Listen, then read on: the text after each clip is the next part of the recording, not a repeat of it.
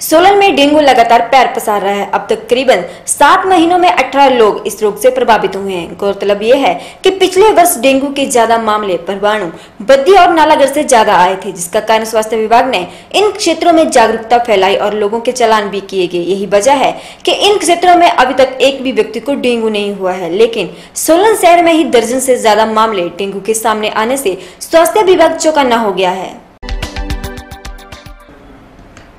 सोलन में डेंगू लगातार पैर पसार रहा है। अब तक करीबन सात महीनों में करीबन 18 लोग इस रोग से प्रभावित हुए हैं। गौरतलब है कि पिछले वर्ष डेंगू के ज़्यादा मामले परमाणु, बद्दी और नालागढ़ से ज़्यादा आए थे, जिसके कारण स्वास्थ्य विभाग ने इन क्षेत्रों में जागरूकता फैलाई और लोगों के चलान भी किए गए। यही वजह है कि इन क्षेत्रों में अभी तक एक भी व्यक्ति को डेंगू नहीं हुआ, लेकिन सोलन शहर में ही दर्जन से ज़्यादा मामले डेंगू के सामने आने से स्वास्थ्य विभाग चौकन्ना हो गया और शहरवासियों को जागरूक करने में लगा है। अधिक जानकारी देते हुए जिला स्वास्थ्य अधिकारी एन के गुप्ता ने बताया कि सोलन शहर में सात माह के भीतर अभी तक 18 मामले डेंगू के सामने आए हैं, जिनका इलाज किया गया है, जो अब पूरी तरह से स्वस्थ हैं। उन्होंने बताया कि डेंगू से पीड़ित लोग ज़्यादातर वह हैं जो हिमाचल के बाहर अपनी सेवाएँ दे रहे हैं और कुछ वह है जो कामकाज के सिलसिले में बाहरी राज्यों का दौरा करते रहे हैं। उन्होंने लोगों को परामर्श दिया कि वे उन क्षेत्रों में जाने से परहेज करें जहाँ ज़्यादा मच्छर पाए जाते हैं। वे उन्होंने कहा कि अगर कोई व्यक्ति बुखार से पीड़ित है और उसे ठंड लग रही है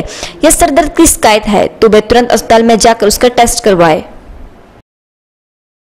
तो ये था आज दिन भर का कार्यक्रम। कल फिर हाजिर होंगे नई गतिविधियों के साथ। आप ऐसे ही जुड़े रहिए एच टूडे के साथ। नमस्कार।